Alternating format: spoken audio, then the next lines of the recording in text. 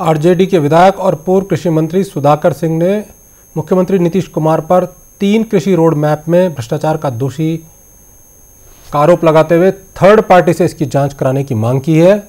इस पर उन्होंने क्या कुछ कहा वो भी बताते हैं आपको। यही कहा कि जो हमने जाँच के लिए आदेश दिया, किसने रोका? पहले उसकी जाँच हो जाए। तो बिहार का दूध का दूध पानी का पानी हो अब आपसे बढ़िया कृषि विभाग को कोई नहीं जानता है क्योंकि आप पूर्व कृषि मंत्री भी रह चुके हैं महागठबंधन की सरकार में। मैं हर विभाग को अच्छी तरह से जानता हूँ जिस विभाग से पूछेगा उस विभाग को मैं बता दूँगा। ऐसा नहीं है केवल कृषि विभाग। कृषि विभाग बड़ा विभाग है इसीलिए और हम किसान हैं इसीलिए इस मुद्दे को मैं खड़ा किया।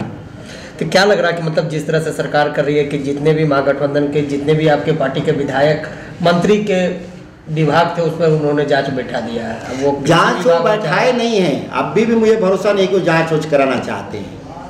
जो जाँच कराना चाहते तो पत्रक तो जैसे जारी होना चाहिए था वो अभी तक कोई पत्रक जारी नहीं हुआ। वो केवल आईवास कर रहे हैं। बिहार में तो एक ही जाँच हुआ था बालिका गृह कांड। और उसमें बिहार सरकार के वरिष्ठ अधिकारी फंसे थे और माना गया था कि जो मुख्य अभियुक्त थे उनके दरवाजे पर उसके बेटे के बर्थडे में बिहार के मुख्यमंत्री गए थे भोजन करने। आप हमेशा से सुर्खियों में रहते कभी सरकार में भी थे, थे फिर भी सरकार के खिलाफ आप मोर्चा खोल रहे थे अब तो आप विपक्ष में हैं। हम सुर्खियों बटोरने के लिए राजनीति नहीं करते हम वास्तविक मुद्दे पर राजनीति करते हैं। बिहार के किसानों की आमदनी कैसे बढ़े? बिहार में मंडी कानून कैसे बने? बिहार में एमएसपी कानून कैसे लागू हो, ये तमाम सवाल पर लेकर के हम सड़क से लेकर सदन तक संघर्ष करते हैं। केवल सुर्खिया में रहने के लिए नहीं, नीतीश कुमार जैसा। झांसी में नहीं आएँगे, नारा देने वाले लोग। मिट्टी में मिल जाएँगे हमारे से बीजेपी में नहीं जाएँगे। इस तरह की सुर्खी हम नहीं बटरते। जिस मुद्दे पर काम करते हैं, अंत तक डटे रहते हैं। आरजेडी के तीन विधायक सत्ता पक्ष में जाकर प्रोटेस्ट में वोट किया तो क्या आरजेडी से सदस्यता जाएगी?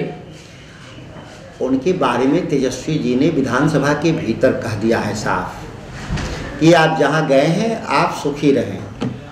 आप कभी समस्या में फंसिएगा तो तेजस्वी जी को याद करिएगा हम आपके साथ मतलब क्लियर हो गया सदस्यता नहीं जाएगी। सदस्यता छोटी बात जनता तय करती है किसी के भविष्य का।